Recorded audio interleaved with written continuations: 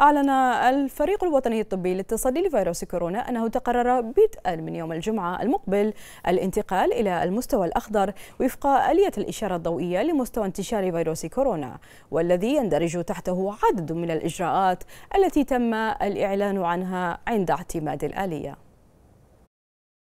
وفق آلية الإشارة الضوئية لمستوى انتشار فيروس كورونا أعلن الفريق الوطني الطبي أنه بدءا من يوم الجمعة الموافق للسادس عشر من يوليو 2021 الانتقال إلى المستوى الأخضر التي يندرج تحته عدد من الإجراءات التي تم الإعلان عنها عند اعتماد الآلية. وأضاف الفريق الوطني الطبي للتصدي لفيروس كورونا أنه وفقا لما يقتضيه الحفاظ على صحة المواطنين والمقيمين وبناء على ما تم الإعلان عنه مسبقا بشأن عدم خضوع بعض المناسبات لمعطيات آلية الإشارة الضوئية لمستوى انتشار فيروس كورونا لما يشكل التجمع فيها من خطر على صحة وسلامة الجميع. فإنه تقرر أيضا تطبيق إجراءات المستوى البرتقالي وفق آلية الإشارة الضوئية لمستوى انتشار فيروس كورونا في إجازة يوم عرفة وأيام عيد الأضحى المبارك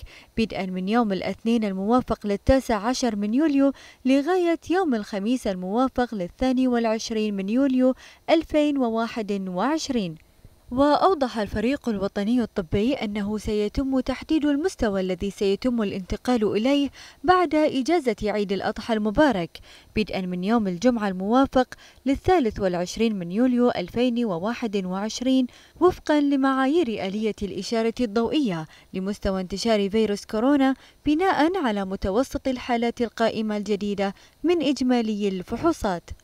هذا وشدد الفريق الوطني الطبي على ضرورة التزام الجميع بإجراءات المستوى البرتقالي والتي تم الإعلان عنها مسبقا منوها أن كل فرد في المجتمع مسؤول بوعيه والتزامه عن خفض معدلات الانتشار مشيرا إلى أن مواصلة الالتزام بالإجراءات الاحترازية والتعليمات الصادرة أساس نجاح مختلف الجهود